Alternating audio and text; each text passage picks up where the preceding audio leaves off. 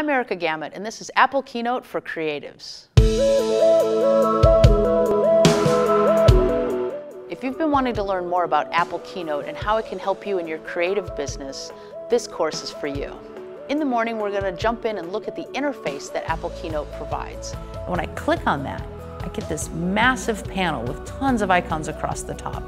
And I can click in here and say, oh, here's all my photos or my events, here's all the albums that we have in iPhoto. And for me, it changes how I would want to approach a portfolio. Um, I've mostly been interested in how I can present my work to an employer or to um, colleagues. We're then going to start customizing our themes to make them a little bit more custom tailored towards us. Then come here and say edit mask, change that so I don't actually shrink my photos. You know, maybe I wanted it to look like that. Then we're going to add movement to our presentations. We're going to work with animations and transitions, and then we need to actually output that to a format we can use in trade show booths, on websites, or even on our portfolio on our tablets. When you start, be thinking about how that's going to interact. Because when we start doing these builds, these animations, we have to tell it, does it happen when we click or tap?